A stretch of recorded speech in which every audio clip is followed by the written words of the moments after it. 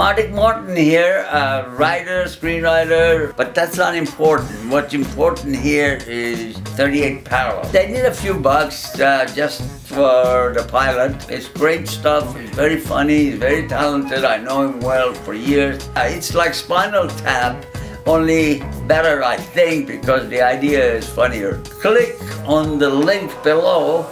I'm sure you know how to do it because I certainly don't. but I do want you to know that you won't be throwing your money away. This is a guy you should Im invest in. Evan York and Sam Greene need a few bucks. It's worth checking it out. Come in.